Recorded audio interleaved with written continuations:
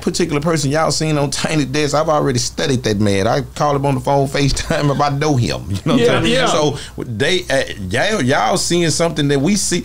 Face perform like that, he'll do that on his birthday party. The world starts to stress you out. What you do? Put a cancer stick off in your mouth or grab a brew sold in stores. Yeah, we on Boss Talk 101. 101. Yeah, we gonna talk. Cause you know, going back to the tiny desk, um, when Scarface did that, I remember how everybody was like in so such a awe of like, man, he went so hard. When you first heard it, how did you feel about it? Well, you know that's that's that's that wasn't as much as an awe to me as was it. That's face. That person right there, we see him at them at them mannerisms and at the club. And you get getting to- to we see that. He greets his father with his hands out. Rehabilitated slave. Glad to be the man's child. You know what I'm saying? Like we get to see that particular person. Like me and Bun, we got a special coming out today. Actually, after Really? the Grammys, um, on Channel 11 That's back a- home KHOU.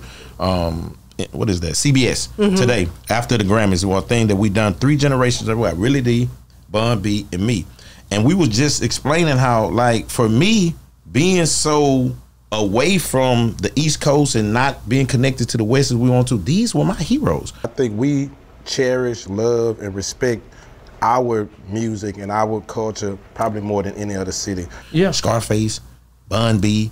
So that particular person y'all seen on Tiny Desk, I've already studied that man. I call him on the phone, FaceTime if I know him. You know what Yeah, I'm saying? yeah. So they uh, y'all, y'all seeing something that we see.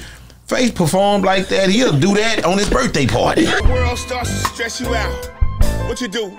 Put a cancer stick off in your mouth or grab a brew sold in stores. Yeah. you know, yeah. had a band and be doing Yeah. all. So it was great. And my I was more enjoyed about to see the people who hadn't been able to just embrace him like that in so long. And for him to be getting I love when we get our flowers Yeah. 20 and 30 years later. Yeah, It's very yeah. important. He, I think, I think they needed to see that because niggas need to know. Yeah. Beautiful. You know what I'm saying? You know me from my side of it. Niggas Yeah. need to know and understand and respect what's going down with Yeah. what Scarface can do. Yeah. And because a lot of times I think it was way underrated. I look at them top whatever lists that w- come out on the east and west wherever, and I be really aggravated and upset Mm-hmm. because certain people ain't on there or because it ain't merited to my perfection. But that's all you know. That's something to where we gotta we gotta create our own thing down here, and I think that's the that's where I'm at with it, Yeah. pushing information up. You know That's what I mean? That's because if we don't do that, then we're not doing ourselves justice. You know Yeah. what I'm saying? We got the we, we got the technology, we got the platforms, and we just got to do the work. And we love our own. Yeah, That's for, sure. Texas, Texas was something different though. You could all, you could you could do it right here in Texas. Been doing it right here in You Texas. see what I'm saying? Like Texas, you could it, Keke could do whatever, sell how many right here in Great. Texas, and, Living and a lot of people don't have that. the um the Texas rap scene and just it allowed it it allowed us to have a, a very a great life. You know, early, and I'm so glad that I was able to mature inside the game, so I can really.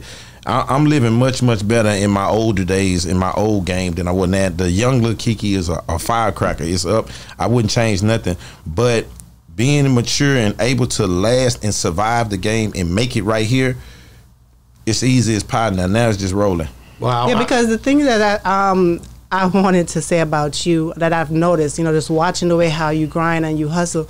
When I see a lot of legends, because I, I think of you as a legend, mm. and I think of other Houston legends, I see how they are sitting back and, you know, reaping the benefits from all the hard work that they've done before. And the way how you are, I know you're still reaping that benefit, but you still grinding like. You still got kid from back then. No, no, they no. they sitting back and just chilling. No, I ain't and doing you no just, chilling. that- that's what I noticed about you, and I'm like, I think you're one of the only ones that I see that keep pushing out music consistently, keep doing a lot. You know, Well, I was just giving somebody an example about that yesterday, which was based on um, I don't. I'm very blessed from a financial standpoint, Right. You know, and it's not just saying because I always think I haven't missed anything that God got for me. I'm a spiritual person. I'm gonna get That's everything I'm supposed to get. So I don't make my music all the time from a money standpoint. I make my music to make sure that they're gonna do it again. Like when I do 25 summers, the goal is, are you gonna buy the next thing? I'm killing these niggas, that's by the masses. Been holding so long, I'm giving classes. When I did Legend, I knew that they was gonna love 25 Summers based on the reaction that I got from Legend. Pay attention, nigga. Texas is here. Ain't no stunting, hunting money for the rest of the year. Issues. So when I go into my music, I tell the the, the young artists this all the time. I'm not really worried about the stream, this what it's gonna do. To, I'm gonna get it. The thing is keeping my fans excited about the next particular thing that I want to do.